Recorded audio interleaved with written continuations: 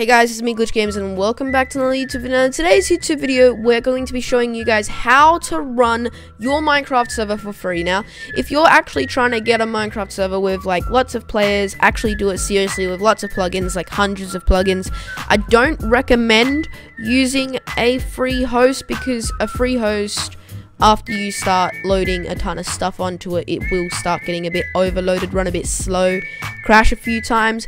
Um, but if you're just running like under 10 plugins, you're playing it with your friends from school, like four or five people, then this is surely the way to go. I mean, like, I was running a free Minecraft server host to like test my server, play.bingomc.tk, by the way, I'm running on Revive node.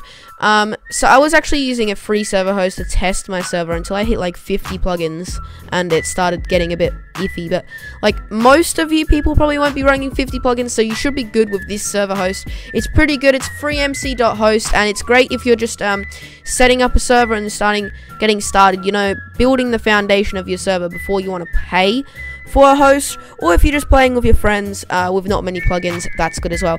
So what you actually do to start off, if you can't, is that you come to this website here, and you actually press the login and sign up option. And what that'll do is you'll log in through Discord. You press login through Discord, then you log in with your Discord stuff. It'll press login, waiting. Uh, here, it'll ask you if you want to upgrade, uh, which it's like something or other for like unlimited backups. No CPU restrictions is the big one. Like this server host can do 16 gigabytes of RAM, but the the CPU is what lets it down. So like with the paid one, you actually get um no CPU restrictions. So that's pretty good. But we're here for the free server. Today's video is sponsored by Songoda. Songoda is a new and unique marketplace where you can easily find hundreds of high quality, free and paid custom plugins to improve your overall Minecraft server experience. With the help of community and developer feedback, Songoda is constantly working to improve the overall user experience. Songoda features both their own plugins and plugins from developers you already know and love. Don't want to take my word for it? Well, why not listen to all the happy, satisfied customers? Link to the Songoda Marketplace will be in the description, so why not give it a try?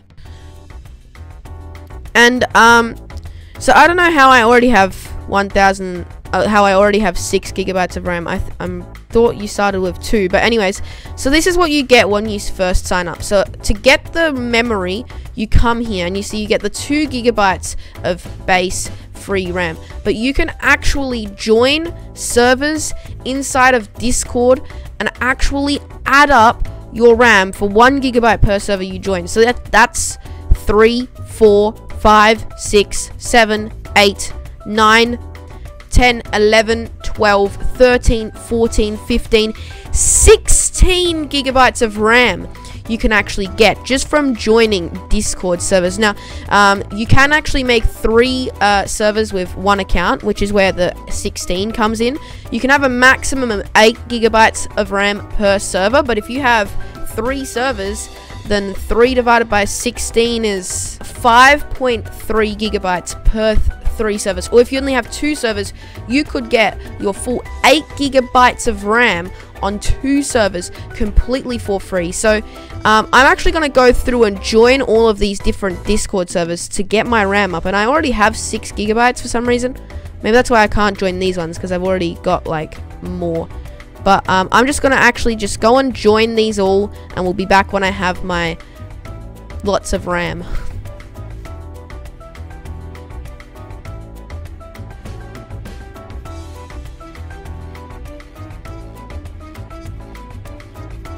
Okay, so I've joined all the servers now. It's probably going to take probably about 10 minutes for the RAM to come through. So whilst we wait for the RAM to come through, we're going to start and we're going to actually go and create ourselves a server. So right now we actually have 6 gigabytes of RAM, so or 600 megabytes, which is about 6 gigabytes.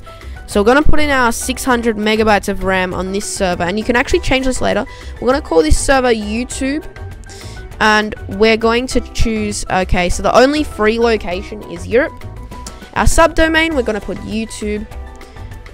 Um, and you can choose from two different endings. Now if you guys hit 30 likes on this video I'll go and make a video on how you guys can actually change this to a different IP address so that you don't have to have this IP address, you could have something like my server play.bingomc.tk go join. It's a lot of fun. Uh, you can choose your version. There's all sorts of stuff. You can even choose BungeeCord, which is really cool. Um, which is why they've got the three servers because you require a minimum of three servers to run BungeeCord. Um, and BungeeCord doesn't need much, so you can allocate like one gigabyte of RAM, RAM to BungeeCord. Which, if you don't know how BungeeCord works, is you need a separate BungeeCord server and then two other servers that your BungeeCord's running on. It's it's confusing stuff. Um, so you can also do custom, but we're just gonna do 1.15.2, and we can press create server. And now you'll see that our 600, 6,000 megabytes out of 6,000 megabytes has been used. Still waiting for that RAM to come through, but I've heard it comes through in about 10 minutes. So we'll just go to our panel and we'll be able to manage our servers from here. So, okay, automatically logged in. Oh, that's really cool. Oh, yeah, look at that. Oh, yeah. Okay, here we can actually manage all of our servers. And this is actually really similar to Revive Node, which Revive Node is this hosting that I use. Um, I really do recommend go check out Revive Node. They're really awesome. So you can go and you can select this one. And you also had uh, the IP back there if you didn't see. So this is the console in real time. You've got file management. You know, it basically works the same as any other server you would do. So obviously there's no files yet. We haven't started the server up. So let's just click the startup button and see how we go. So guys, uh, as you can see, the server started up, and as you can see, all the commands are working. If we do slash help, we've got all of the help coming up. If we do slash reload, everything works just like it should. And now, one thing that I don't like about this is the CPU does actually grow up a little bit when you do the reloads and the starting up the server especially. But if we actually go into file management, we can actually see where we can edit some stuff. Uh, we can edit the server.properties. Uh, we can we can add in plugins into the plugins folder. So let's add a plugin into the plugins folder. Let's just get any good old plugin. Let's add in our plugin. Where is it? Obsidian to, to lava. It'll be somewhere around here. Here we go. Add an hour plugin. And then if we go into console and we hit reload, hopefully our plugin should work.